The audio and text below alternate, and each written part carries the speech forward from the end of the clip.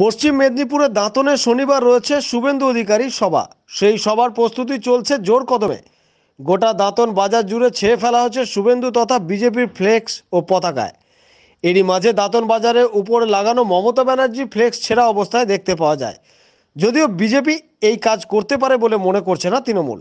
তৃণমূলের বিধায়ক বিক্রমচন্দ্র প্রধান জানান, আমার দৃঢ় বিশ্বাস, দাঁতনে যারা বিজেপি করে, তারা এ কাজ করতে পারে না। তার স্পষ্ট অভিযোগ, দাদার অনুগামীরা এই কাজ করেছে। যারা ছিঁড়েছে, ব্যানার ছিঁড়ে দিলে তো আর তৃণমূল কংগ্রেসের ভোটটা তারা নিয়ে দিতে পারবে না।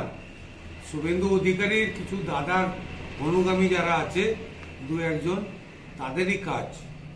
আজকে আমি, এটা আমার দৃঢ় বিশ্বাস, কোনো বিজেপির, যারা এখানে বিজেপি করেন, তারা এই কাজ কখনো করতে পারেন না। যারা এই দু একজন যে অনুগামী হয়েছেন, সেই অনু- অনুগামীরা তাদের ভিতরে এই কাজ হয়েছে। তার দাঁতনের মানুষ তার যোগ্য জবাব দিয়ে দিবে।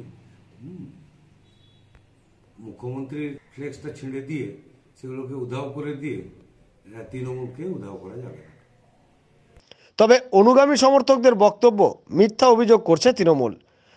সেটা তো লোক দেখেছে, সেদিনকে দাঁতনে যে বিধায়কের নেতৃত্বে যে মিছিলটা হয়েছিল, পুরো তাণ্ডব লীলা করেছে হারমাদদেরকে নিয়ে। পুরো যত ফ্ল্যাক্স ছিল, শুভেন্দু অধিকারী সব ভেঙেছে, সঙ্গে নেত্রীরও কয়েকটা ছবি ভেঙে দিয়েছে।